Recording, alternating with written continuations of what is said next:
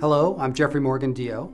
I'm an osteopathic internist and dean at the School of Osteopathic Medicine in Arizona.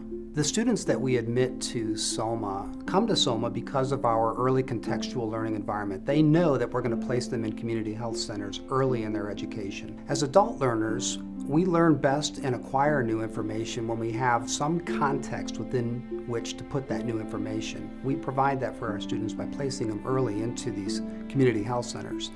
When they first come to interview with our school, they, they are offered an opportunity to select from one of 11 community health centers around the United States that they know they want to go to. So they know from day one where they'll be going, where they'll be spending their time. The culture at SOMA has just been redefined, and we have, under the acronym RICH, defined it as a, a, culture that highlights and admires respect, integrity, collaboration, and honesty characteristics we hope to see in each other and in our students, and that we hope our students will expect to see in us.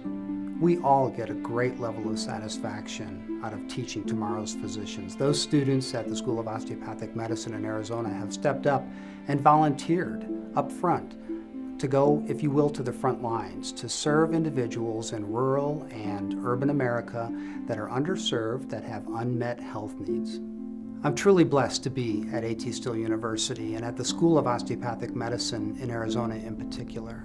Working at A.T. Still University and at SOMA is an opportunity for me to be immersed in a sea of people dedicated to one mission, one vision, and that is training physicians to be competent, compassionate, and willing to serve the underserved.